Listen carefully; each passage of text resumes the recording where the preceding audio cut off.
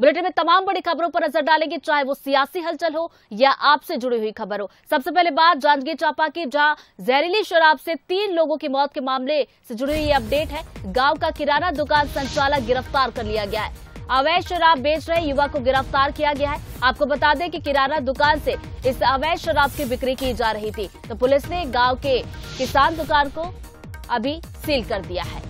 तो बड़ी खबर आपको बता दें, जांजगीर चांपा में जहरीली शराब पीने से तीन लोगों की जान चली गई थी, जिसके बाद ये एक्शन लिया गया है। गाँव का जो किराना दुकान संचालक है, इसकी गिरफ्तारी की गई है। क्योंकि देखिए, जो किराना दुकान संचालक है, वो अपनी दुकान से अवैध रूप से शराब की बिक्री कर रहा था। जानकारी मिलने के बाद यहाँ पर बड़ी कार्रवाई की गई है और पुलिस ने गाँव की जो दुकान है, उसको अब सील कर दिया है। शराब पीने के बाद तीन लोगों की मृत्यु हुई है। उनको नवागढ़ अस्पताल में लाया गया था। डॉक्टरों द्वारा मृत घोषित किया गया है। उनका पंचनामा करके पोस्टमार्टम की कार्रवाई की जा रही है। और पोस्टमार्टम के उपरांत एनालिसिस भी क्लियर हो पाएगा कि किन कारणों से उनकी मृत्यु हुई है। और पुलिस की टीम अस्पताल में भी है। डॉक्टरों की टीम भी पहुँच गई है। एफएसएल की टीम भी ग्राम रोगदा पहुँच गई है। और वहाँ पे सभी अधिकारी मौके पे गए हुए हैं। और आगे परीक्षण के उपरांत ही उसमें क्लियर हो पाएगा। इधर जांजगीर चांपा के नवागढ़ में शराब पीने से तीन लोगों की मौत के बाद नेता प्रतिपक्ष नारायण चंदेल नवागढ़ सामुदायिक स्वास्थ्य केंद्र पहुँचे। उन्होंने सरकार पर आरोप लगाते हुए कहा कि सूबे में दो हज़ार करोड़ का शराब घोटाला हुआ है। नारायण चंदेल ने मरने वाले तीन लोगों के परिवार को 50-50 लाख रुपए का मुआवजा देने की मांग की है। नवागढ़ से लगा हुआ रोगदा गाँव है जो मेरे निर्वाचन क्षेत्र में है। वहाँ पर तीन नौजवानों की नकली शराब से, अवैध शराब से मौत हो गई है।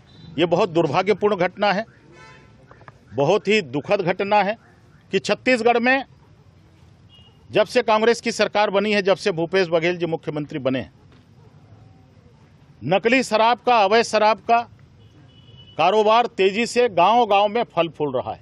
मुख्यमंत्री भूपेश बघेल जी को नैतिकता के नाते चाहिए कि तत्काल इसी वक्त जो तीन लोगों की मौत हुई है, तीनों को 50-50 लाख रुपए की राशि की मुआवजा देने की घोषणा तत्काल वो करें।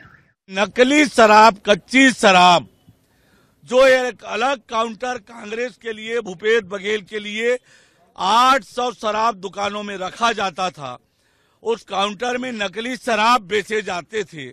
और नकली शराब से हम लोगों ने जैसे कहा कि लोगों के स्वास्थ्य और जीवन से खिलवाड़ करने का काम ये सरकार नकली शराब बेचकर कर रही है और ये जो तीन मौतें हुई है, इसका कोई जिम्मेदार है? तो भूपेश बघेल की सरकार है, कांग्रेस की सरकार है, जो घोटाला करने के लिए, वसूली के लिए, पैसे के लिए इस प्रकार से नकली शराब छत्तीसगढ़ में बेचकर लोगों की जान ले रही है। खबर, अगली भी जांजगीर चांपा से ही, जहाँ शराब की बड़ी खेप पर बुलडोजर चला है। दस हज़ार सात सौ तिरपन लीटर शराब को नष्ट किया गया है। और पाँच साल से इस शराब को जब्त करके रखा गया था। कलेक्टर ने टीम बनाकर इस शराब को नष्ट करवाया है।